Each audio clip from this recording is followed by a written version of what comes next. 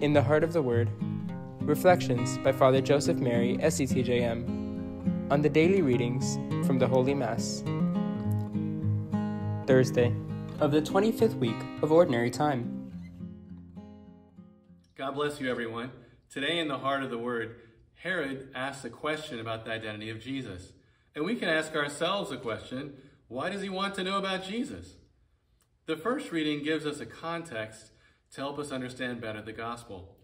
The author of the book of Ecclesiastes says, Vanity of vanities, all is vanity. There's nothing new under the sun.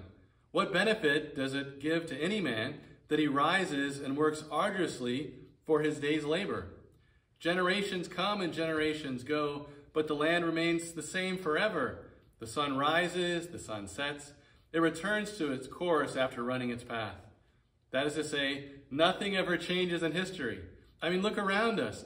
Violence, sickness, families being torn apart, tragedy, war, the rich, the poor, the indifferent, politics, division. Nothing changes. Everything's always the same. There's nothing new under the sun. And so we can ask ourselves, and Herod asks, but what about Jesus? I mean, finally, there is something new. Better, there is someone new, and he has changed everything. As the Lord tells John the Baptist, the blind see. My brothers and sisters, we have learned to see God acting in our own lives through the sacraments by the power of his word. The lame walk.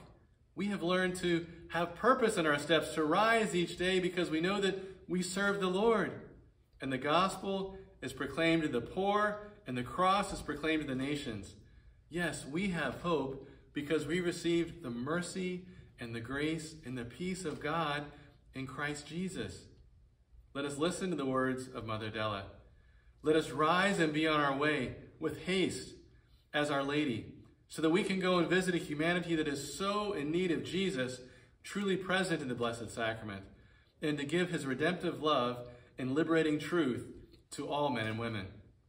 My brothers and sisters, there is finally something new under the sun. There is someone new under the sun who is the Son himself, Jesus Christ. And he is the one whom our hearts seek. All for the heart of Jesus through the heart of Mary.